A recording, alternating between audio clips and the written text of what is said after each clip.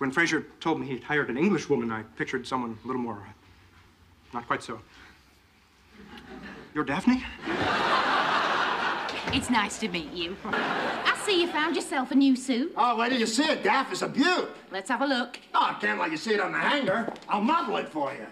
What a nice son you are, buying your father a new suit. Well, it didn't quite work out the way I'd planned, but, uh... Daphne, what are you doing? Fluffing your knickers. If you don't mind my saying so, you're losing some of your elasticity. Well, I appreciate everything you're doing, Daphne, but a man's knickers are certainly... Oh. How do you get them so soft? Fabric softener and twice through the fluff cycle. Oh, well, keep up the good work. Hello. Yes, oh, hi, Niles. Well, of course you can come by. Great, I'll, I'll see you then.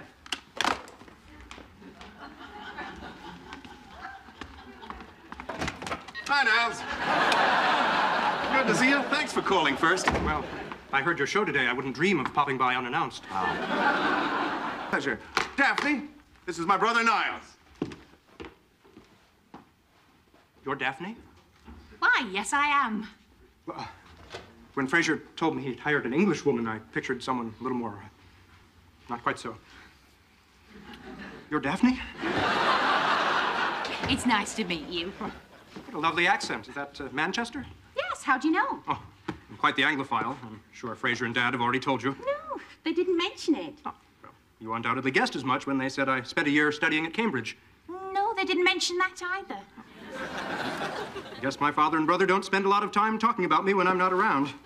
I wouldn't say that. Niles, here's your picture. Do you mind? Mary here's wishing you good mental health. Frasier Crane. Fits like a glove. Hi, Niles. Hey, Dad. Wow. How do I look? Wow. Dr. Crane took your father shopping to Armani this afternoon. You got that at Armani? Just like I told you, Frasier, he can't tell the difference. Well, we were on our way to Armani when Dad spotted this in the window of a discount clothing store. It's shark skin.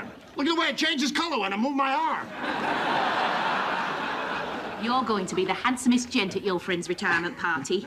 Now, come on, let's go and hang it up before it gets wrinkled. Oh, it's supposed to resist wrinkles. They had one in the display window wadded up inside a mayonnaise jar. But I don't know what to do with those tossed salads and scrambled eggs.